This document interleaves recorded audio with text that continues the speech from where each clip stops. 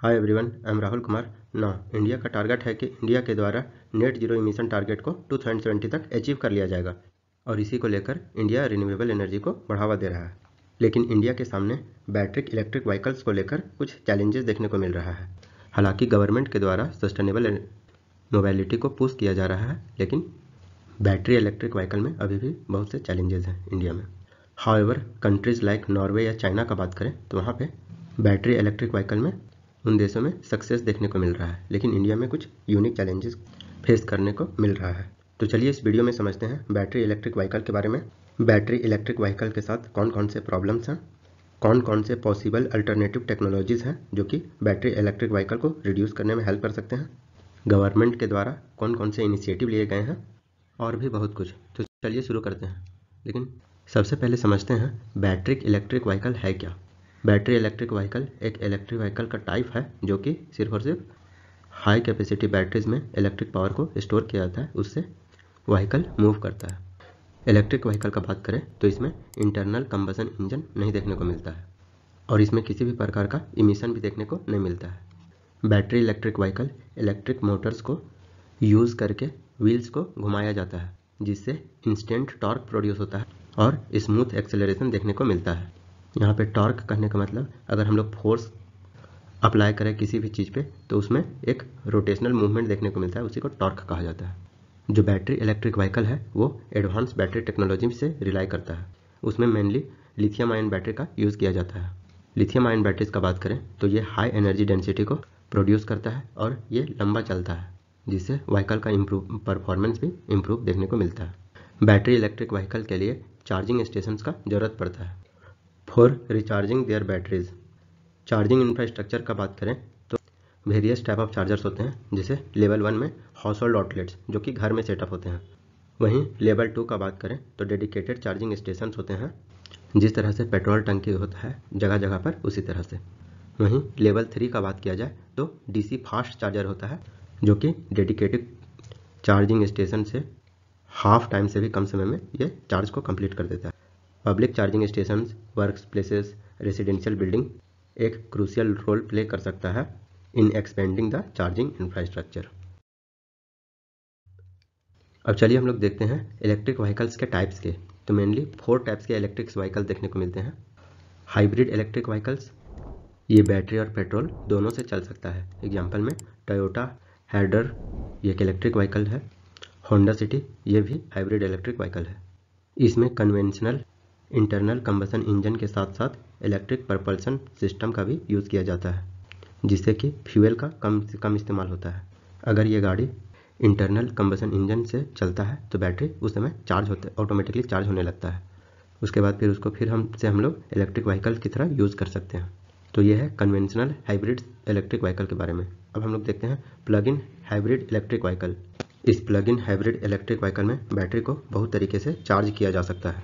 जैसे कि wall outlet को यूज़ करके चार्जिंग इक्विपमेंट के थ्रू और थ्रू रीजेनरेटिव ब्रेकिंग इस मॉडल पे अगर कार का बात करें तो कार्बोलेट वोल्ट जो कि एक प्लग इन हाइब्रिड व्हीकल है।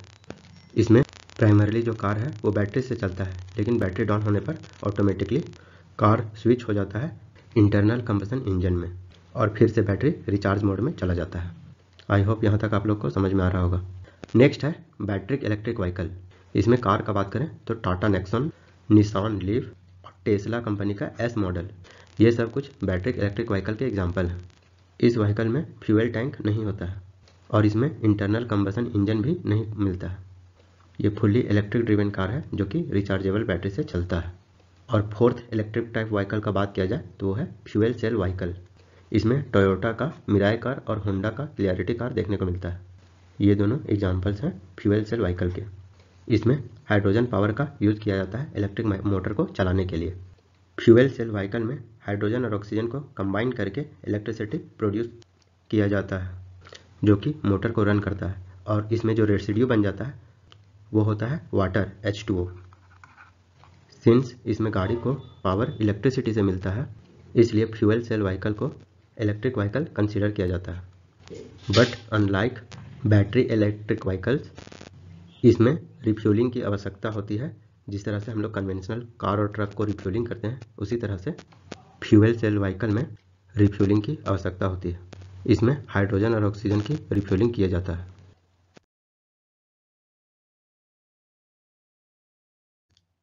चलिए हम लोग देखते हैं इंडिया में बैटरी इलेक्ट्रिक व्हीकल के सामने कौन कौन से प्रॉब्लम देखने को मिल रहे हैं। फ़र्स्ट है चार्जिंग नेटवर्क। करेंटली इंडिया में limited number of public charging station available है। तो इसमें टू व्हीलर थ्री व्हीलर के अनुरूप चार्जिंग स्टेशन बनाने का रिक्वायरमेंट है। इंडिया में बात करें तो about two thousand public charging station available है और ऑपरेशनल है अक्रॉस द कंट्री और इसमें भी स्टैंडर्डाइजेशन और इंटरऑपरेबिलिटी का लैकनेस देखने को मिलता है among chargers and vehicles second problem है इलेक्ट्रिसिटी सोर्स इंडिया में भी, भी जो मेजोरिटी इलेक्ट्रिसिटी प्रोडक्शन है, वो coal field thermal power plant के ऊपर रिलाई करता है। और ईवी चार्जिंग स्टेशन से इलेक्ट्रिसिटी का डिमांड और बढ़ जाएगा, जो कि इन्वायरमेंट को एडवर्सली और ज़्यादा इम्पैक्ट करेगा। क्योंकि थर्मल पावर प्लांट से और ज़्यादा सी और greenhouse gases emission release होंगे। थर्ड प्रॉब्लम का बात करें तो वैल्यू चेन डिपेंडेंसी ऐसा प्रोजेक्शन लगाया जा रहा है कि 2030 तक जो लिथियम आयन बैटरीज का डिमांड है, वो 30 percent by volume compound annual growth rate के हिसाब से इंक्रीज करेगा। इसके लिए इंडिया को fifty thousand tons of lithium का रिक्वायरमेंट होगा to manufacture electric vehicle batteries जो कि इंडिया के पास नहीं है। अगर हम लोग ग्लोबली देखें तो जो 90 परसेंट लिथियम आयन बैटरीज का प्रोडक्शन होता है, वो लिथियम का प्रोडक्शन वो lithium triangle countries Chile Argentina और बोलोविया के पास सबसे ज़्यादा लिथियम देखने को मिलता है। वहीं ऑस्ट्रेलिया और चाइना यहाँ पे भी लिथियम का रिज़र्व देखने को मिलता है। और लिथियम से बैटरी प्रोडक्शन का कैपेसिटी चाइना के पास सबसे ज़्यादा है। और इलेक्ट्रिक व्हीकल बैटरीज बनाने के लिए लिथियम के अलावा भी other inputs such as cobalt, nickel, जो कि कॉन्गो और इंडोनेशिया से माइन किया जाता है, इसका भी ज़रूरत होता है। As a result India would be almost entirely depend on imports from small pools of countries to cater its demand तो वैल्यू चेन डिपेंडेंसी भी इंडिया के सामने कहीं ना कहीं एक बिग चैलेंज है। फोर्थ है high initial cost of owning electricity vehicle electric vehicles थोड़ा एक्सपेंसिव होता है इंटरनल कंबसन इंजन वाले व्हीकल्स के सामने. इलेक्ट्रिक व्हीकल्स में जो बैटरीज होता है, उसका कॉस्ट बहुत ज़्यादा होता है, जो कि व्हीकल को ओवरऑल कॉस्टली बना देता है. लिमिटेड अवेबिलिटी और अफोर्डेबिलिटी होने के कारण जो इलेक्ट्रिक व्हीकल है, वो मार्केट में जो मास सेगमेंट है, उन तक पहुँचाने में दिक्कत होगी. फिफ्थ है lack of awareness and consumer performance lack of awareness के कारण जो कंज्यूमर का परफॉर्मेंस है regarding internal combustion engine vehicles वो बेस्ट ब्रांड का है लॉयलिटी का है। अगर उसको रीसेल करना चाहें तो उसको वैल्यू भी मिल सकता है और ये मोर कंफर्टेबल होता है। इस तरह का परसेप्शन लोगों का इंटरनल कंबसन इंजन व्हीकल्स के प्रति है। Limited knowledge of potential buyers regarding electric vehicles, benefits and futures further adds to the problem. Cultural factor है भी है, वो भी इन्फ्लुएंस करता है इलेक्ट्रिक व्हीकल्स के परफॉर्मेंस पर परसेप्शन में।